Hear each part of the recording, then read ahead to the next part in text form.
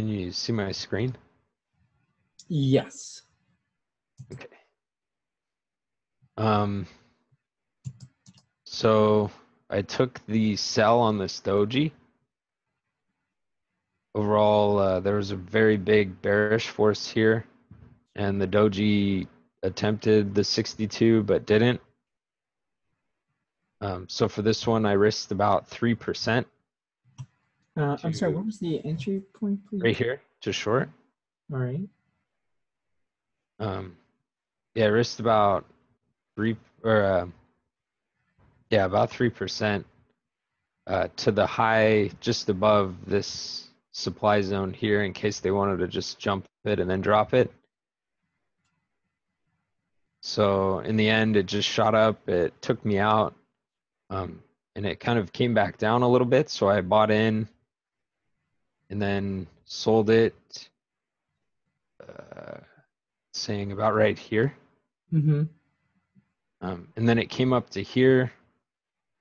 I knew it was very overextended, so I sold more on this consolidation zone here. Okay. Um, so I got in to sell here and it came down, kind of started consolidating here at this zone, so I closed. Okay. Um, and then I uh, took a long. Actually, I closed and went long. And then, yeah, it was based on the level of demand. Then, as price kind of broke down, I just held, didn't close the uh, the long position, and ended up closing down here or adding in down here once it hit this major demand. Uh, so it consolidated, came up to here. I sold here. Um, then as it came back down to here, I bought in more. I, I uh, when I sold here, I sold about a third of the position in total from that buy back here. So it was entry one here, entry two here, and then sell one third here. Okay. Uh, came down to here. I bought back in with one third. And then it came down to this guy. Uh, so I closed it, took a short. This dropped. I closed it at the bottom of this. Uh, and then, yeah, I just kind of stopped trading it because it started slowing down and consolidating more so. Waiting for it to find a deeper demand to go back in long for the longer term. Okay. Uh, so were you up or down? Um, so starting about here, when this initially stopped me out, was at minus 13. Uh, then for this guy uh, to go long and then sell, I made about uh, eight five. Made about five bucks.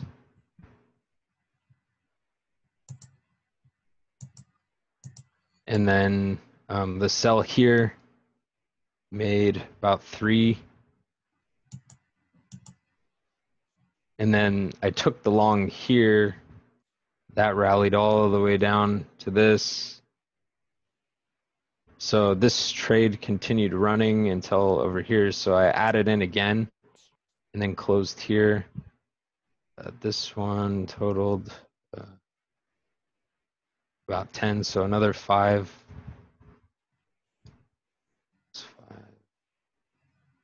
And then um, I bought back in here,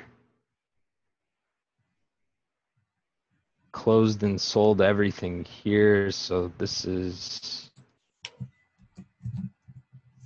30.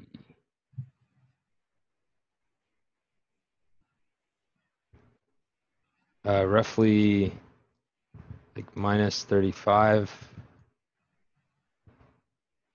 And then this sell, it closed out about four dollars. So 10, 13, so those are canceled. So I netted minus 31. Uh, dollars? Yep. Okay. Uh, um, let's. Before I uh, say what I have to say based on what I can see, if you can do things again, what would you have done differently, Jared? Um, the sell position that I got there, I would have uh, taken it and held it longer. Okay, what? Um, because uh, yeah, overall there was no real good demand in this section, and then to turn around and be a buyer after there's no real good demand in this section, kind of goes against my intuition. So follow the intuition. Um, and then once this demand breaks, this whole buy trade is now kind of invalid based on the demand. So just overall close it on this bearish candle. And then maybe even sell from there till it finds a really good demand like it did.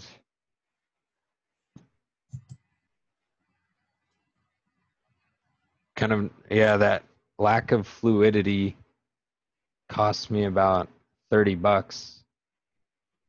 Okay, so what cost do you think that lack of fluidity? Um, kind of hope and um, yeah, it's like there was such a forceful bullish candle here that you know they're going to find a demand here. They're going to find a demand here. So by closing it and selling, I'm at that demand they're going to find. So I didn't want to. And it ended up, uh, yeah, I was kind of catching a falling knife and hoping kind of at the same time. Okay. Um, So next time that this happens again, what will you do? mm, close, close here. If I'm long from the demand, once the demand breaks, you gotta close. I mean, as long as it's uh, yeah, based upon the demand. So if the trade's based upon based upon a demand or supply zone, close it once the supply or demand breaks in uh, out of your favor. Okay. Uh, when you're trading, which methodology do you use the most? Um, usually uh, M1s. M1s. Mhm. Uh, do you use when you use M1s? Do you use the moving averages in your chart when you're trading M1s? Um, no, Okay, no, I have uh, this guy set up for that. gotcha. Yeah, that's way easier. That's way better. Yeah, for that add-in um, that I did on this section. Right here, though, I, I switched and did the uh, the M3 after I, you know, was buying in based on the demand. It found an M3 to go long, and this closed like that. I added in at the close of that candle.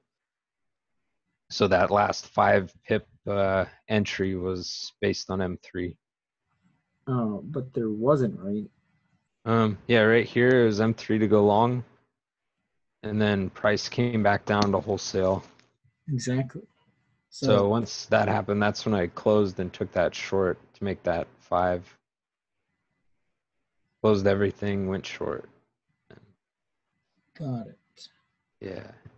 So now if you're using M1 and you see this as a point of entry, because what does this signify? This kind of, Uncertainty. Sellers are starting to take over. and what type of doji is it? Gravestone. Exactly. because it, well, also at the end of the day, because everything looks in hindsight. hmm At the end of the day, you have also a very bullish candle over there. hmm So once it it forms stability at the area of demand right there, you have a lower low right there and then higher low over here, but you have higher low from there, higher low still from there, higher low from there. This is way stronger. So technically, yeah, you have a buying over there. Nothing dictating on on this side because it could easily head up over there though.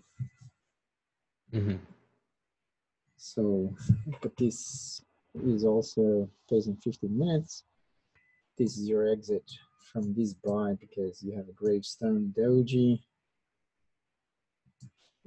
and then you have a bearish candle that created a an evening star yeah um, so sell sell Yeah, the stochastic on it was like 61. Yeah. So simply that's uh excuse me, if you're just basing it on method one, see it's struggling also from this. This is a hmm continuation. However, this whole is part of this. So that's that's the question. The question is why did they push it all the way up there and then why did they give it back? So that also now be determined from a bigger time frame to see what they're really doing. So what does uh the daily time frame show, Jared? Uh, bullish candle from demand. Yeah. Kind of losing steam though with the long upper wick. But they're willing to surpass all these highs. So that's Yeah, last week. bonus given thing. hmm So if it finish above the eight or the ten, then by Sunday you have an opportunity to go long short term. But the thing is, they don't like the lower low over here. hmm So simply, what's the weekly showing there? Um, bearish with consolidation. Yeah, it's a bearish and consolidation right there. So, in my opinion, I think the slowdown has stabilized itself to correct itself before a continuation. Then, that's from what I can just see right at this point in time. So we're gonna.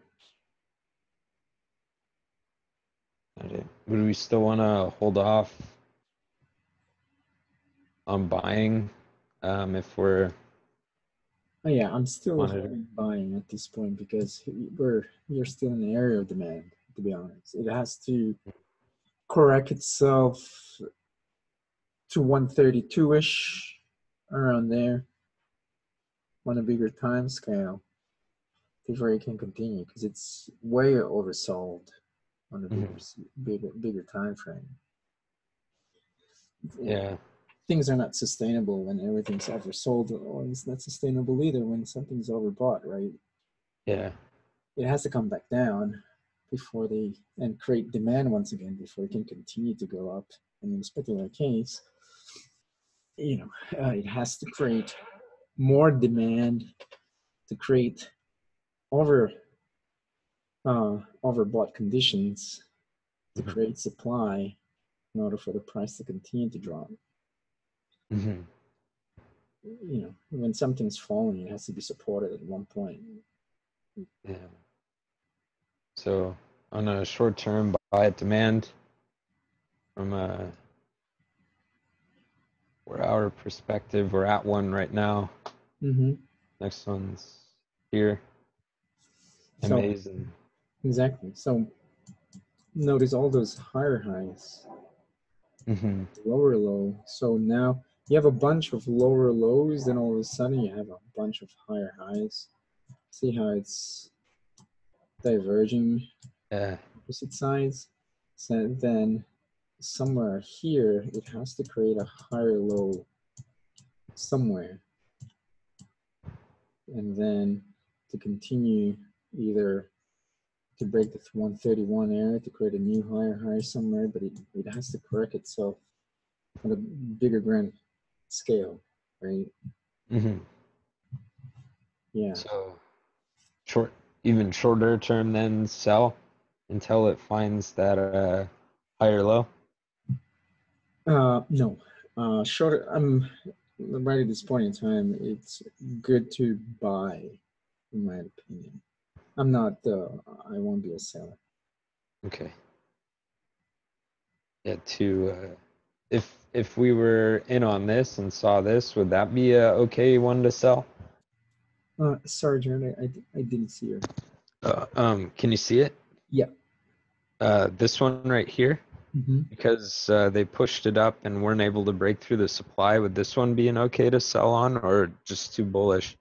It's too bullish. I, I believe that uh because it tested the first time it came back, second time, third time, notice that it kept increasing its price hmm and finally break out to the fourth time. Yeah, and then it come back. It's now a level of demand. I believe it's gonna break through this easy. So if you sell, um, I mean, there's a possibility that you could that it could drop. The probability of it continuing though is higher than dropping, in my opinion. You have a higher chance of winning through buying right here. Got it. Cannot be a seller. Yeah. okay. I believe from what I what I can see is uh, the micromanagement once again, and hmm panicking to a certain degree, to a certain mode, uh, on shorter term. And then not panicking when I need to.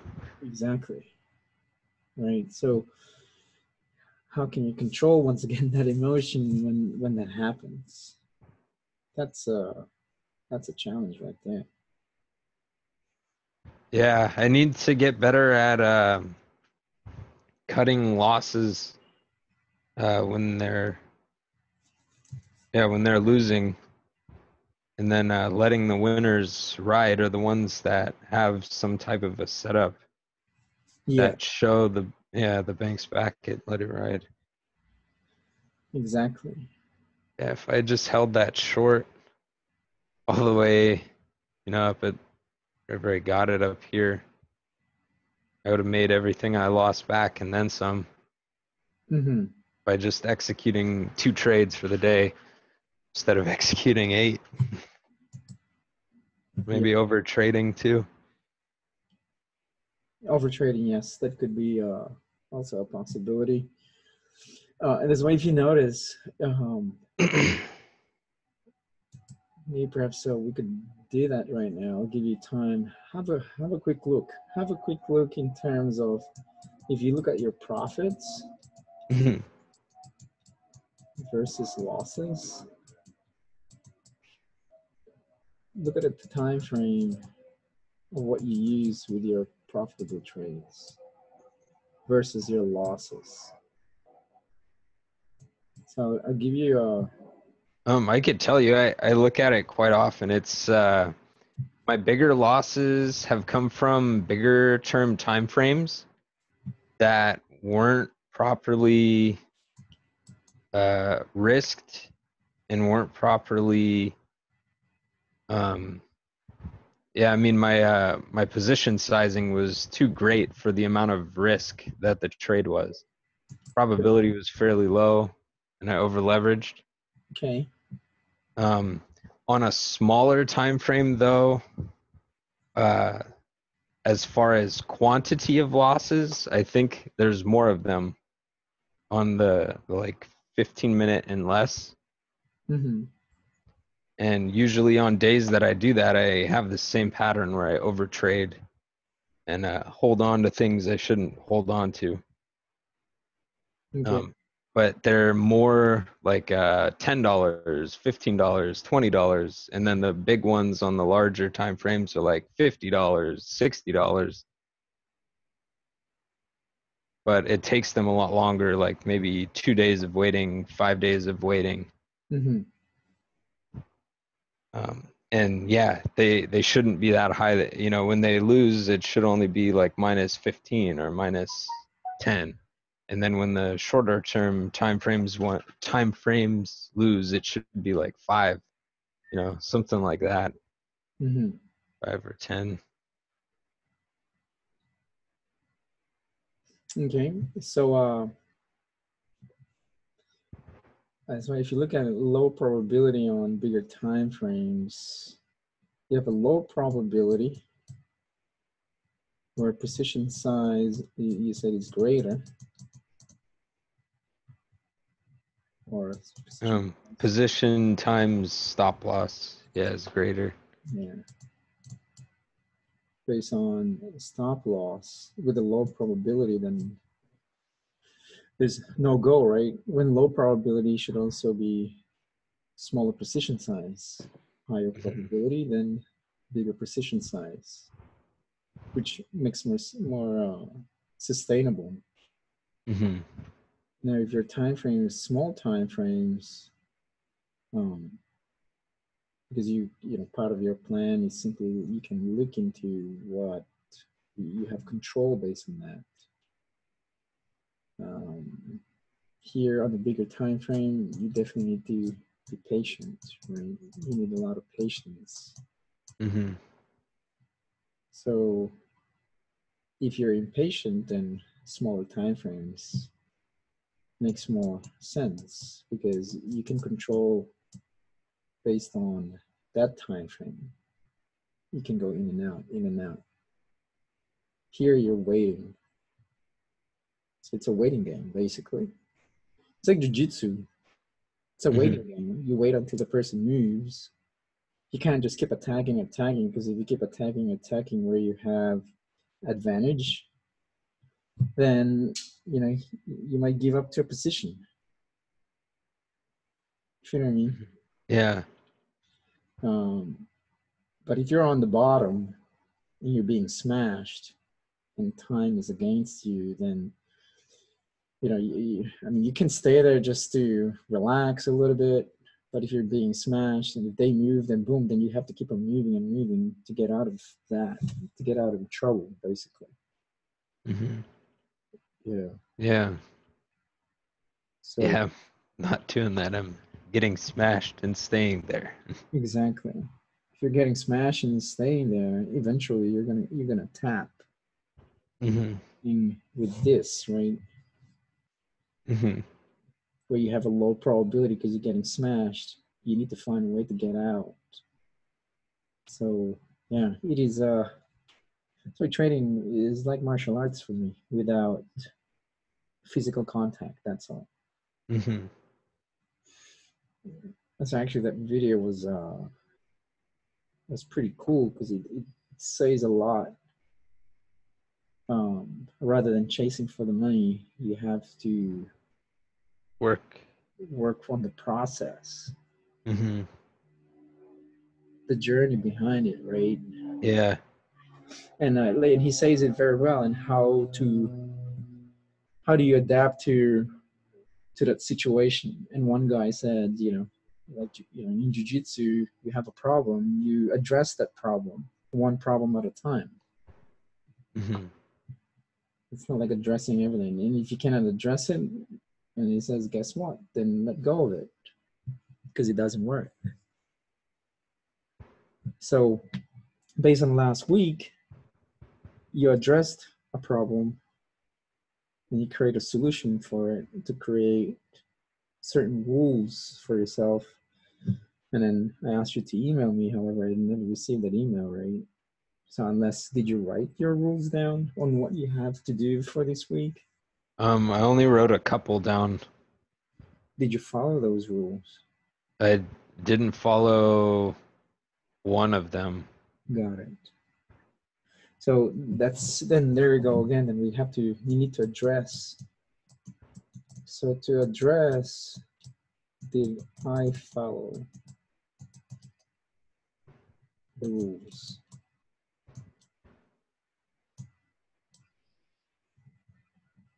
You did not, why? So what was, what caused in order for you not to follow one of those rules? So firstly, let's identify what was the rule. What were the Um? The rule was uh, to cut a trade if it's not within, uh, you know, why it took it, Okay, not within its being.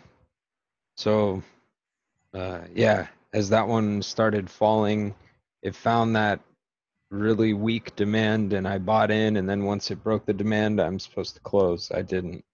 okay, Uh, why didn't I do it? Because uh, I guess I was kind of flustered with the first loss that I didn't want to have a second loss. But yeah, I guess to set up a, a recipe for success, you need to, you know, execute a high probability trade, not a a low probability, and hope it pays out. Hmm. So, uh, have you met uh, Michael? Michael, they call him the Hobbit. Um, what's his last name? Oh, oh man. I, I, Or he's he's at a Ralph Gracie, right? yeah, he was a Ralph Gracie student, and then uh, he trained with Gumby, Oh yeah, I've Small yeah, yeah. I think yeah, he's short and like stocky, right? Short, bit muscly, and Yeah, like you know, yeah. I've I've seen him. I think I've met him once. Yeah. So he, he um he taught the class yesterday at lunchtime, and he was showing some kimuras um, from a uh, standard kimura to a one-handed kimura, and he calls it the fugitive technique.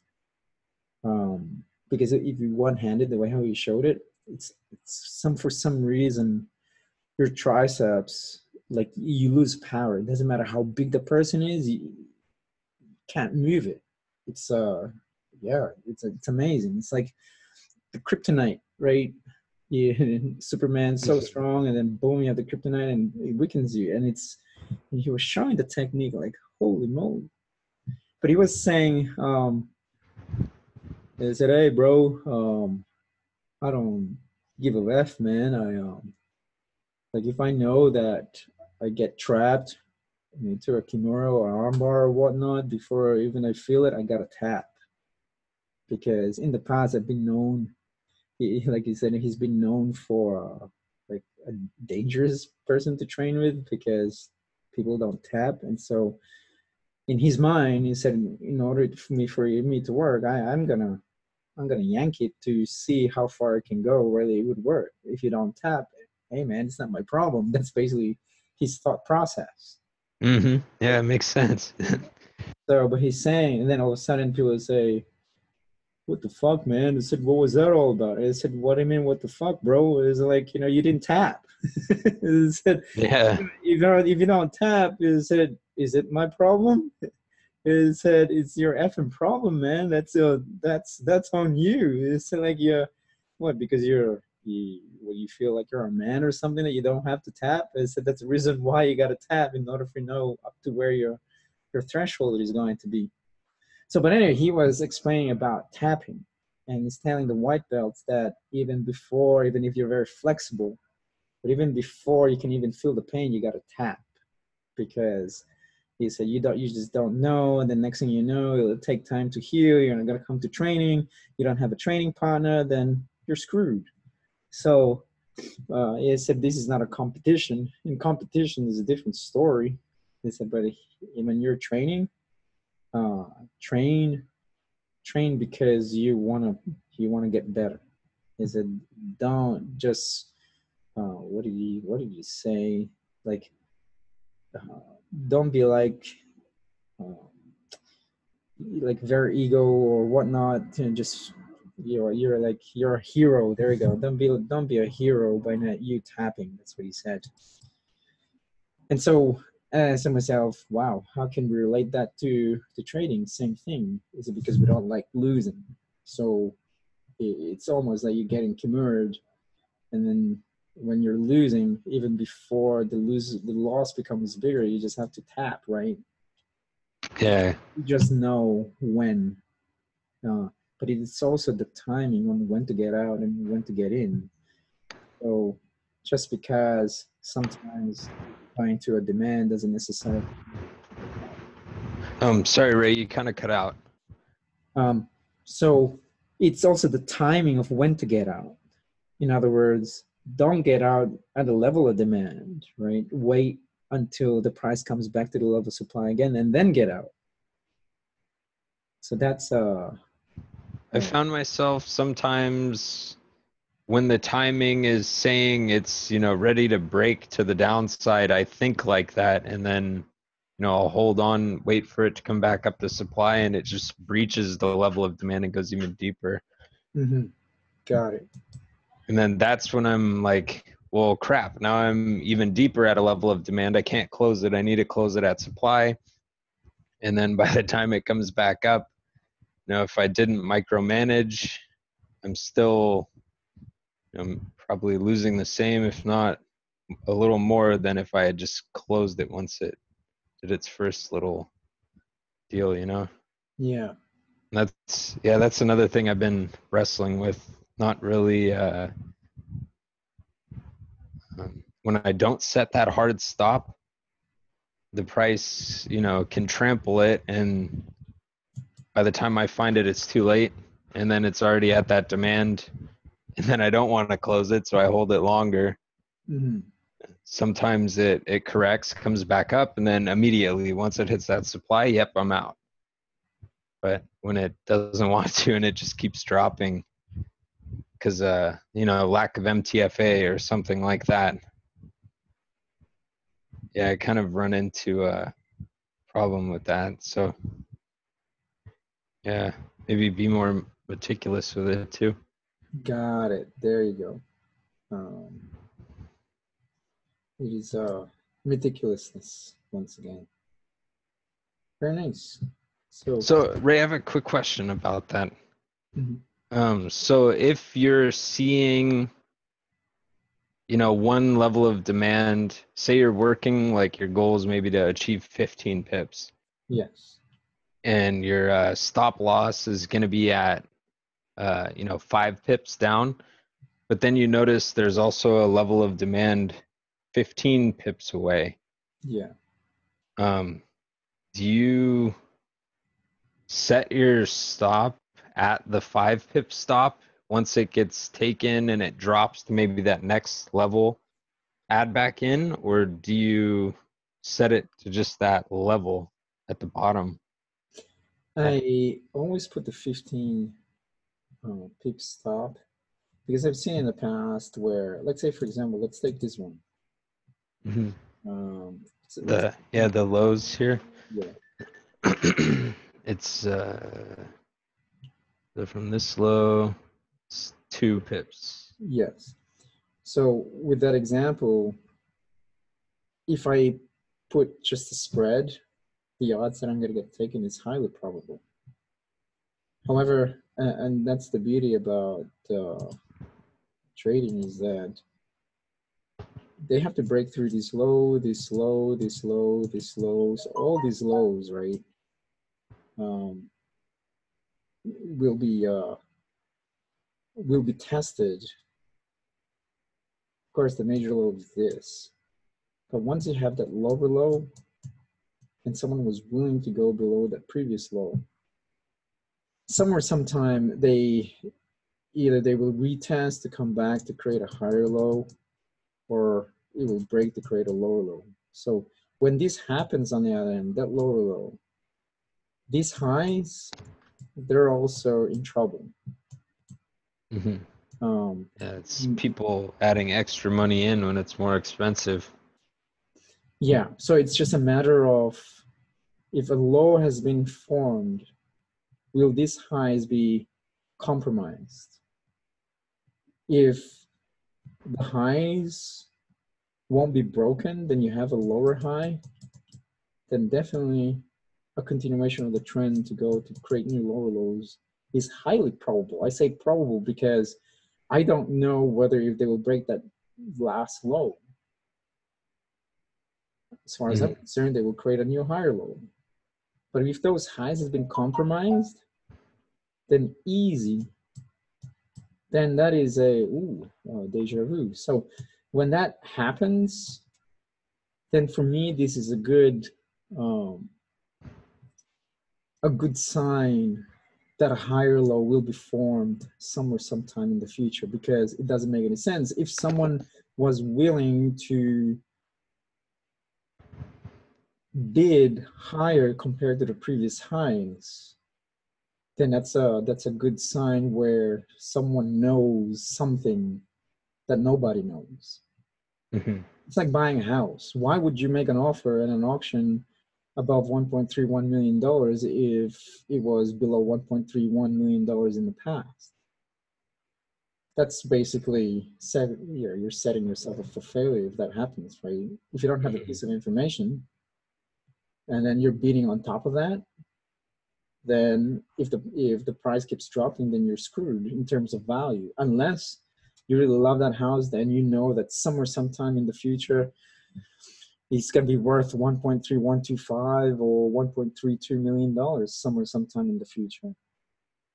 Other than that if it's not worth the value above the last high point then why would you even bother placing a, a higher bid if, if that makes sense Yeah, it does. because in the past someone was willing to go below that low so the seller was willing to sell below the market price in terms of the last lows so whoever got in at 1.31 here 1.7 in terms of institutional price point and then another institution was willing to sell it this guy who bought it at 1.3017 really took it as a bargain and said ha sucker. Like yeah.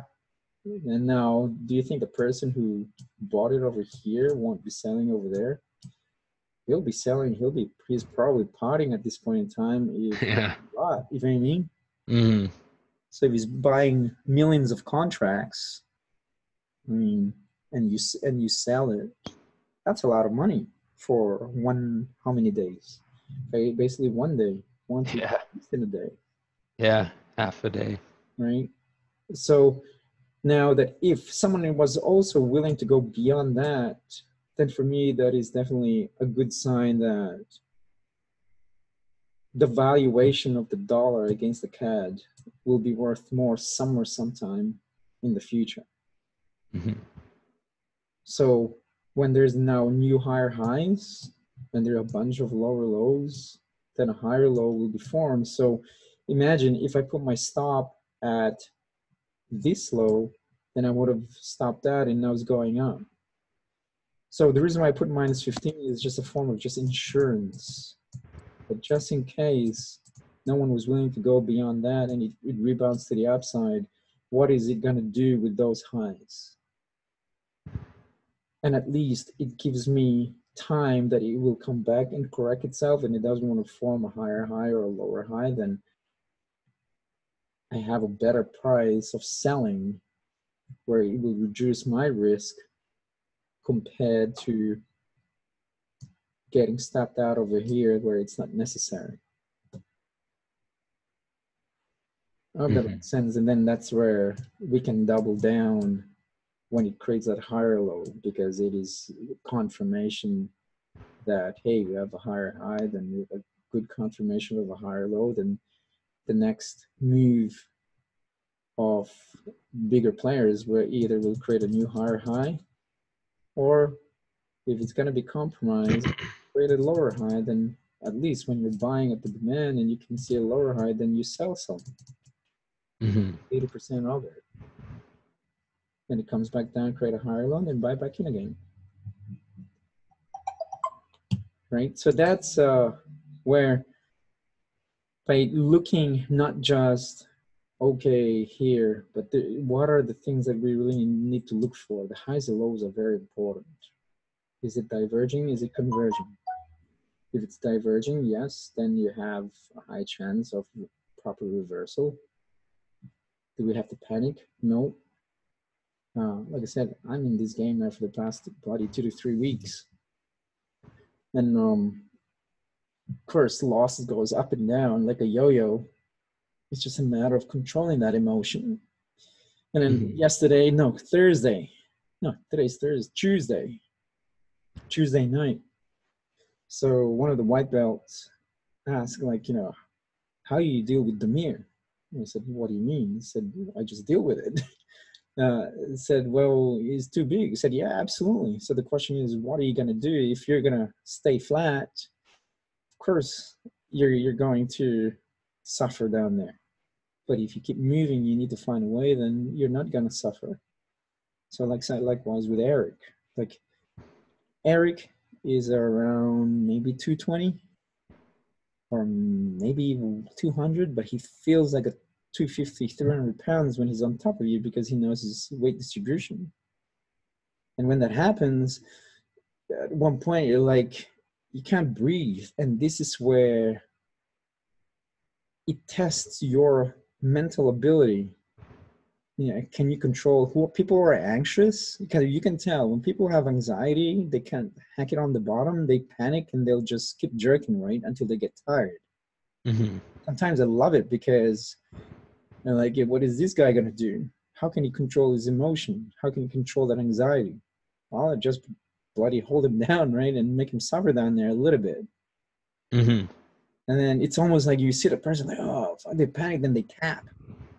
Is there is it necessary to tap? No, it's not necessary to tap.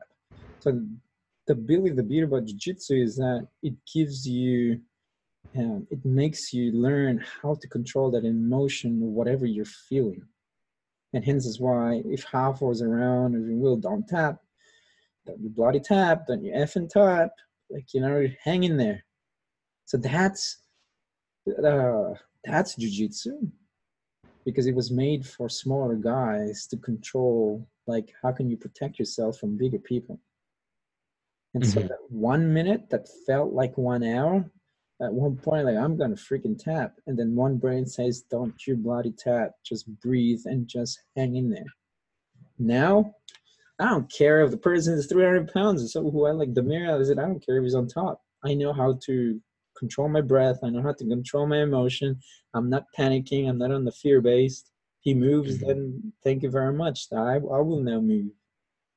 Even with chokes before like you know you, people will panic right? You put the hand in someone puts a hand on your neck, what's the normal reaction? They will panic, like, oh, the, the fight or flight response. hmm Fear based. So when you're training, like you need to be aware of your fear. Like, what is the fear? Right at this point in time, fear of losing. Fear of losing what? Fear of losing money. Okay, well, if your fear of losing money, then did you accept that if you're going to to be on the opposite side, how much you're willing to risk? Are you accepting that amount of risk? It's like you being on the bottom and the bigger guys on top of you.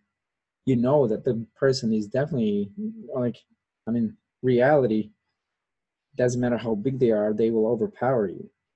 When Mhm. they overpower you, you just have to be real that, hey, look, I am gonna accept that this guy is gonna be be on top. I'm gonna be on the bottom, but even watch out. But once we are be on top, though, I'm gonna control the position as much as I can, and I'm not gonna fight it either because if he uses muscle, guess what? I will go with it.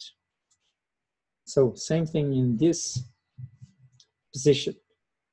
This guy, you have a lot of power over there, but these little mini smaller ones, still smaller ones, he's just a little annoying little dude or a bigger dude who's annoying you simply like trying to like irritate you a little bit.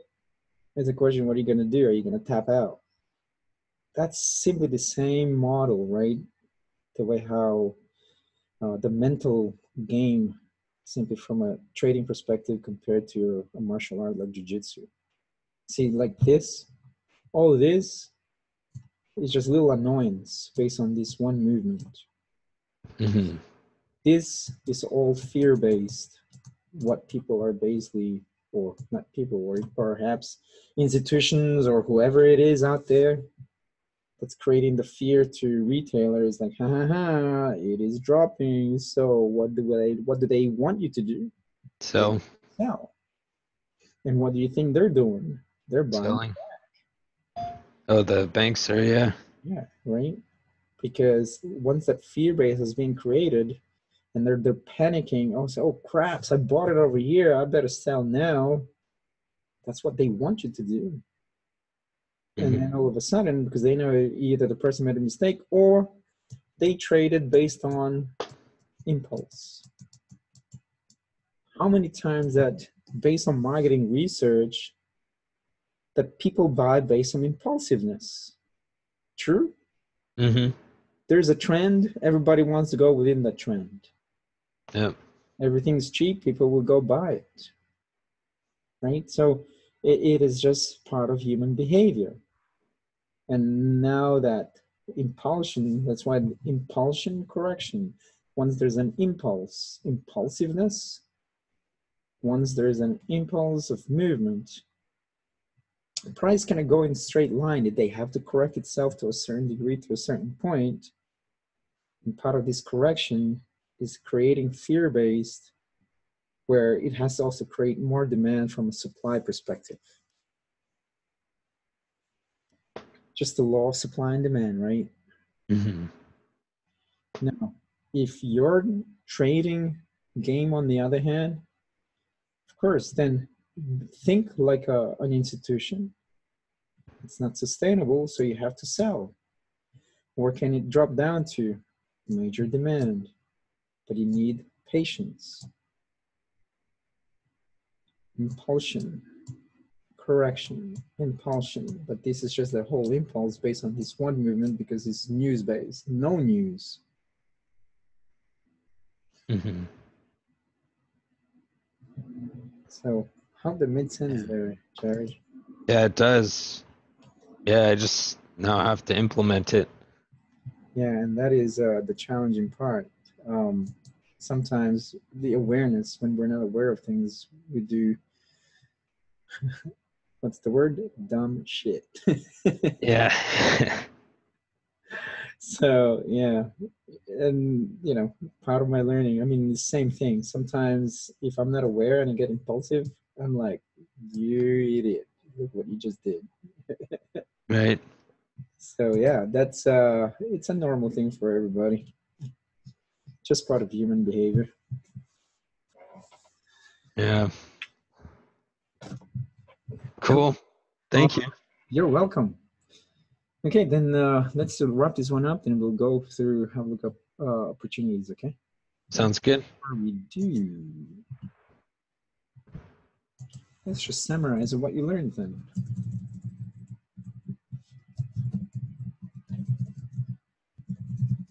What did you learn? Um, to follow, make sure to follow the rules. Okay, what else? Uh, to uh, maintain meticulousness.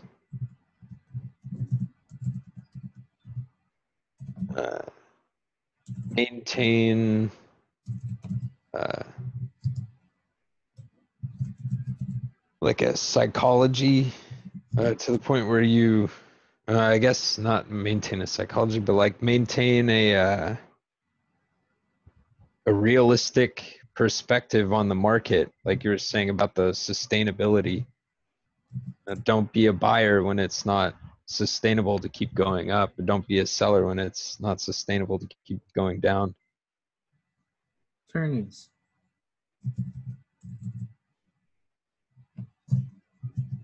Um, yeah, everything else is just uh, stuff to work on. Nice. Very good. Excellent. All right, Jared, we'll see you in a minute. Sounds good. Thanks, Ray. You're welcome.